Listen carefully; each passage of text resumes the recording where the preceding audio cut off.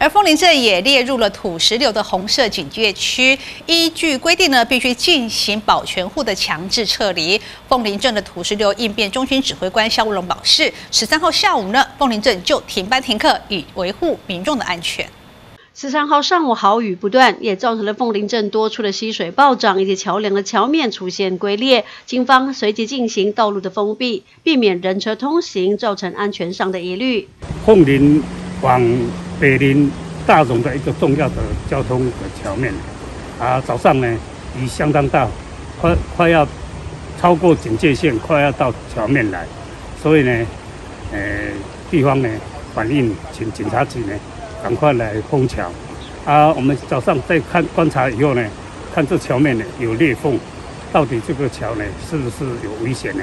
我们要等水退以后呢，我们再来勘察。啊，所以说在这里来往的民众呢，大家要小心。目前呢，呃，造成民众不便呢，啊，请大家多多原谅哈。由于雨势不断增强，让凤林溪的溪水临界安全线，也造成了林田桥的桥面出现了多处的龟裂。凤林镇公所与警方即刻进行凤林溪上下游桥梁的封闭通行与土石流警示区内的保全户撤离动作。好大雨持续不断，让凤林镇公所及凤林分局不敢掉以轻心，持续进行警示区域的巡查。记者林杰凤林镇采访报道。